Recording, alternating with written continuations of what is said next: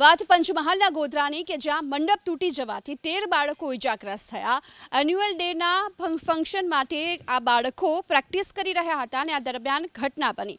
હોલીચાલ શાળામાં વાર્ષિક દિવસ માટે આ મંડપ બાંધવામાં આવ્યો હતો. વિદ્યાર્થીઓ જ્યારે પ્રેક્ટિસ કરી રહ્યા હતા સમય અચાનક મંડપનો કેટલોક ભાગ નીચે બેસી ગયો. વિદ્યાર્થીઓ ઘાયલ થયા તમામને સારવાર માટે હોસ્પિટલ ખસેડાયા.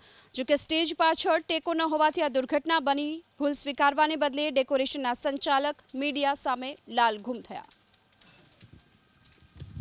કનેલાઓની શાળા છે.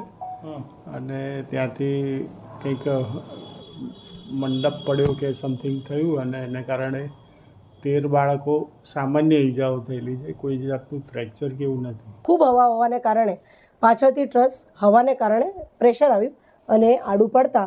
ત્યાં છોકરાઓ રમતા હતા તો થોડું ઘણું છોકરાઓને ખસેડી લીધા. પણ તેમ છતાંય થોડી ઘણી ઈજાઓ જે થાય એટલે અમે એનો ચાન્સ લેવા માંગતા નહોતા કારણ કે સાંજે ફંક્શન છે અને છોકરાઓ પંદર પંદર વીસ વીસ દિવસથી પ્રેક્ટિસ કરતા હોય છે. એટલે આજે ડાન્સ કરવા માટે એક્સાઇટેડ હતા.